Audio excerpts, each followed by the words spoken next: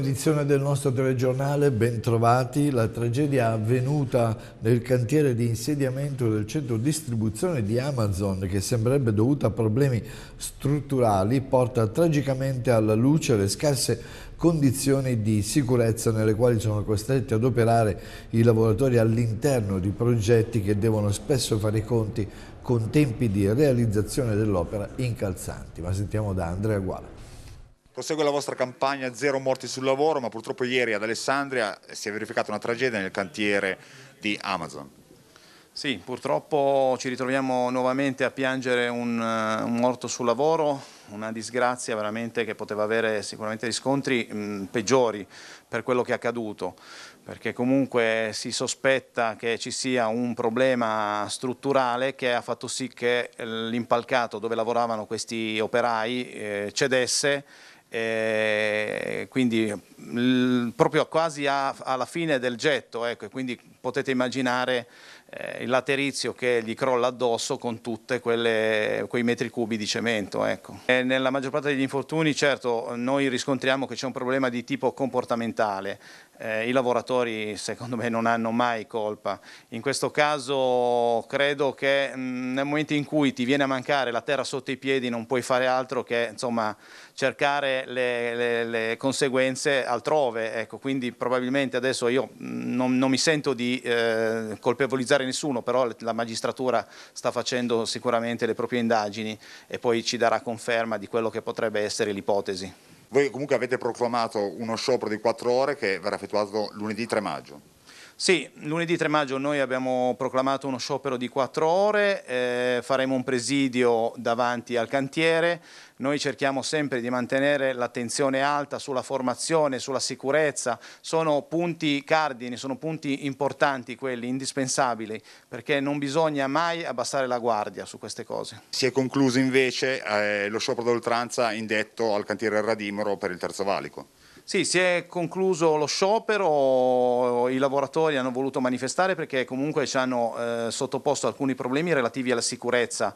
Eh, a seguito di questo l'azienda si è impegnata a risolverli in tempi eh, brevi perché comunque eh, potevano creare sicuramente dei forti disagi ai lavoratori. C'era in, in ballo anche una, una questione economica mh, dovuta praticamente al disagio portato dall'utilizzo dei DPI. In questo momento loro stanno lavorando in presenza di amianto anche se non, eh, non in, con numeri diciamo, eh, significativi, però quello che abbiamo ottenuto è una riduzione dell'orario di lavoro in quelle condizioni e una maggiorazione dovuta eh, all'utilizzo di questi dispositivi di protezione individuale. Compie 853 anni la città di Alessandria, due le iniziative che caratterizzeranno il compleanno che ricorrerà lunedì. La manifestazione potrà essere seguita in streaming sul sito istituzionale YouTube del Comune. Ma sentiamo questa intervista di Chetti Porcello. Il 3 maggio sarà il compleanno della città di Alessandria, l'anno scorso non si è potuto fare niente perché in questo periodo si era in piena eh, pandemia, Oggi il Covid sarà importante nel, in questo anniversario eh, della città con il Presidente del Consiglio Comunale Emanuele Locci, a che punto sono i preparativi e quale sarà il programma di questo speciale compleanno? Grazie.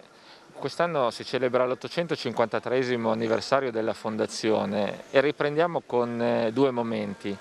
Un primo momento la mattina alle ore 10 a Santa Maria di Castello si celebrerà una messa con eh, il Vescovo di Alessandria e il canto del Te Deum, un canto di ringraziamento a Dio affinché protegga la nostra comunità.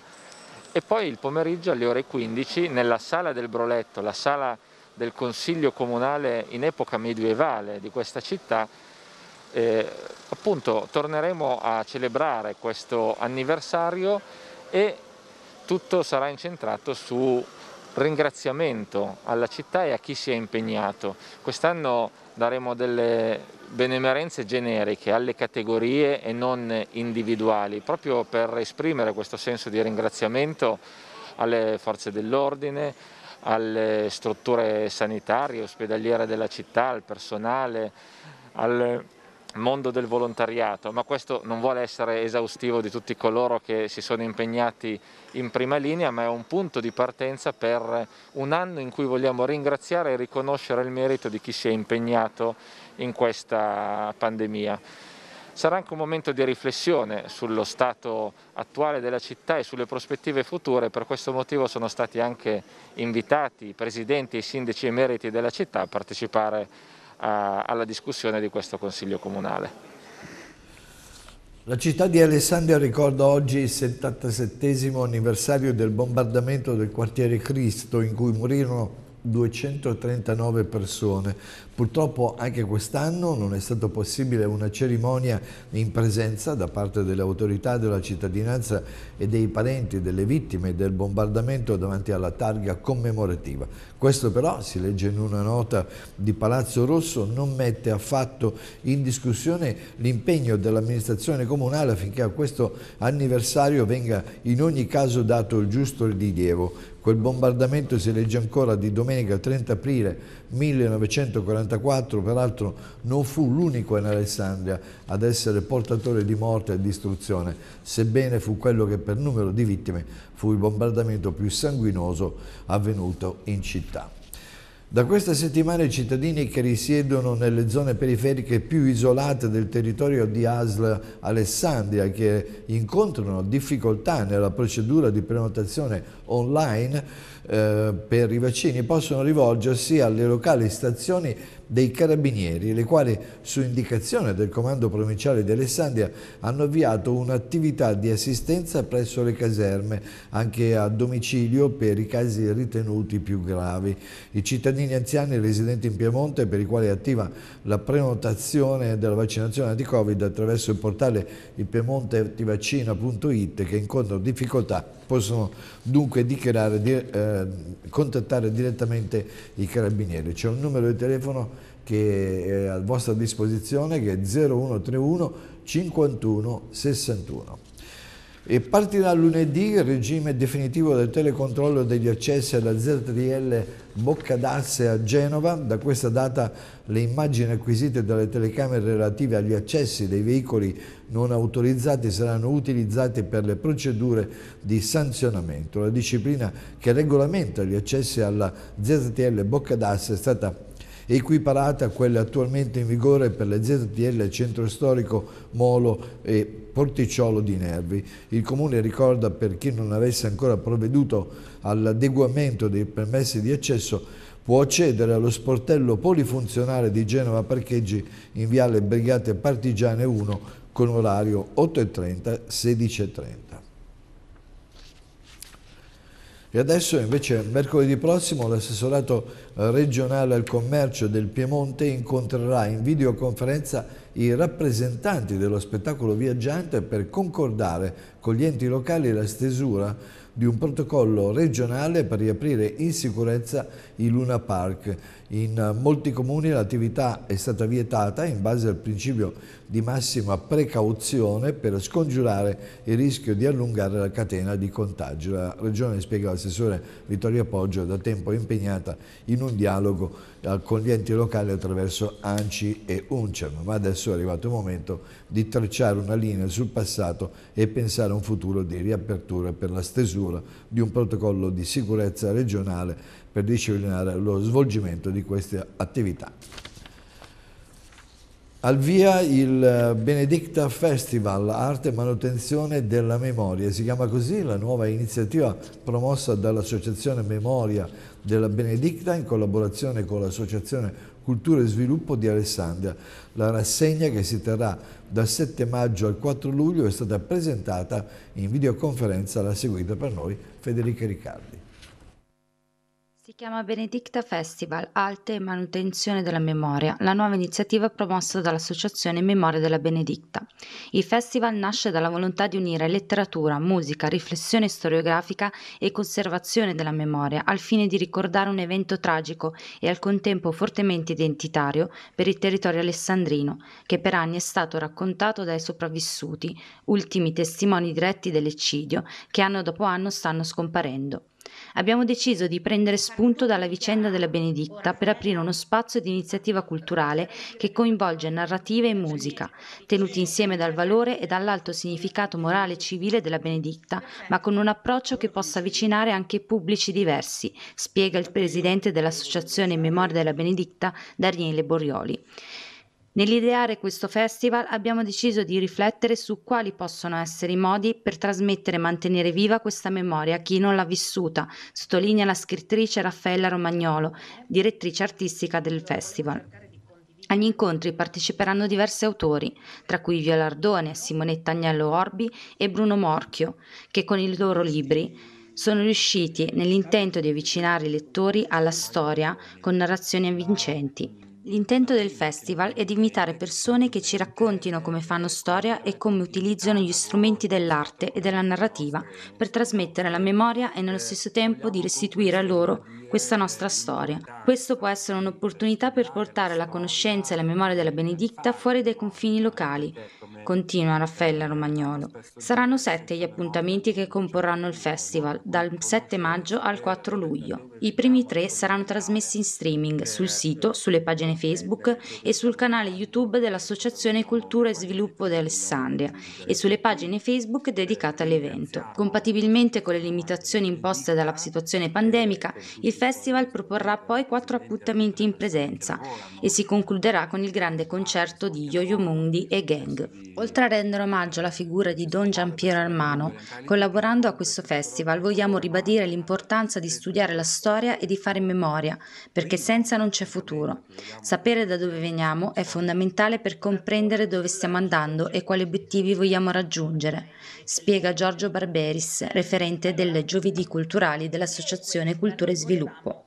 Il festival è organizzato con il contributo della Fondazione Cassa di Risparmio di Torino e con la collaborazione dell'Associazione Cultura e Sviluppo di Alessandria, dell'Isral, dell'ISREC, dell'Ampi Provinciale di Alessandria e Genova, dei comuni Taiolo Monferrato, Castelletto d'Orbe e Rocca Grimalda, che patrocinano l'evento insieme alla provincia di Alessandria e con il sostegno del Consiglio regionale del Piemonte. Con il ritorno alla zona gialla, il turismo, colpito duramente dalla pandemia, si riscopre alla ricerca di spazi che garantiscano sicurezza e relax. La ripresa è lenta, ma il settore non si arrende i soci di Agritourist sono convinti che si possa ancora una volta ripartire proprio dall'agricoltura. Ce ne parla Andrea Guala. Il turismo, comparto che ha subito i danni maggiori dai lockdown derivanti dalla pandemia, vuole ripartire e nel caso di Agritourist, associazione che raccoglie oltre 24.000 agriturismi in Italia, vuole farlo seguendo la propria vocazione, cioè naturalmente. Il progetto si chiama Riparti naturalmente, riparti con noi e come dice il, il titolo eh, significa che eh, le nostre aziende mettono a disposizione, come vedete, questi spazi aperti, questi spazi in cui eh, c'è un distanziamento naturale, in cui si può fare un'attività in sicurezza. Quindi noi diamo la possibilità in un ambiente che è decisamente aperto, in un ambiente libero, in un ambiente in mezzo alla natura. Questo è il nostro punto di forza e eh, vogliamo ribadirlo in questo momento. Con un turismo sempre più di prossimità è nato il fenomeno Holiday Work, che offre ai lavoratori in smart working la possibilità di lavorare in strutture ricettive come la Fiscala di Spinetta Marengo, alleviando nel lavoratore l'isolamento di un appartamento in città. Riparti naturalmente. Riparti con noi. Agritourist sicuramente darà modo a tutti quanti di assaporare i gusti della nostra terra, mantenendo eh, un, una leggera distanza che possa consentire a tutti di godersi veramente relax nelle nostre aziende. Sarà intrattenimento per bambini, per adulti, sarà didattica, questa didattica a distanza tornerà in presenza, la faremo nella piena disponibilità di spazi verdi e quindi eh, adeguatamente areati, consentendo a tutti i ragazzi di ritrovare e di riscoprire nuovamente i nostri territori. La Fondazione Cassa di Risparmio di Alessandria ha comunicato che questa mattina sono partite le visite nuovamente alla sala d'arte di Palatium Vetus di Alessandria, eh, sono state riaperte praticamente al pubblico per via della zona gialla e le visite guidate saranno gratuite con prenotazione consigliabile ma non obbligatoria. Ma ci racconta tutto Fabrizio Mattano. Palatium Vetus di Alessandria con le sue sale d'arte torna da oggi usufruibile al pubblico, che potrà ritrovare un pezzo di storia della città grazie a visite guidate che si effettueranno a cadenza oraria. Si riprendono le visite, le visite alla quadreria, la sala del broletto all'interno del palazzo con grande gioia che noi vogliamo contribuire alla ripresa delle attività artistiche e culturali. La Fondazione è sempre stata vicina a queste attività, quindi vicina alla musica, vicina alla pittura, vicina all'archeologia e siamo ben felici di riprendere la nostra attività. Speriamo che vada avanti a lungo. L'apertura dalle 9 alle 13 da domani anche dalle 15 alle 19. Le prenotazioni per l'accesso gratuito non sono obbligatorie ma consigliate per poter contingentare gli ingressi ai sensi della normativa Covid-19. La Fondazione ha sempre continuato a lavorare in questi periodi di chiusura per migliorare l'esperienza di visita a tutti gli spazi culturali e assicurare un'apertura in sicurezza. E quindi invita il pubblico a visitare Palazzo Vetus, simbolo della città di Alessandria, e la mostra Marengo e il suo tempo, che sarà fruibile nel cortile del Broletto detto, con i suoi manifesti, carte geografiche e stampe che si concentrano sulla figura di Napoleone Bonaparte della battaglia di Marengo, che permetteranno di seguire una narrazione visiva di questo avvenimento storico con la parabola del mito napoleonico fino al suo termine. La Fondazione si augura che questo sia solo il primo passo verso un ritorno alla normalità che si spera avvenga il più presto possibile in tutti i settori della cultura che sono stati così fortemente penalizzati dalla situazione contingente. Siamo arrivati al fine settimana, praticamente sono molti gli appuntamenti sportivi, ci sarà anche l'Alessandria Calcio che terrà il suo ultimo incontro di campionato regolare in attesa dei playoff che seguiranno tra qualche eh, settimana. E, e questo ultimo risultato non è importante per definire quindi qualcosa di più di quello che è già definito, cioè che parteciperà ai playoff. Ma di tutti gli avvenimenti sportivi ci parlerà Fabrizio Mattana in questa pagina sportiva che segue tra poco. Grazie per l'attenzione, arrivederci alle prossime edizioni.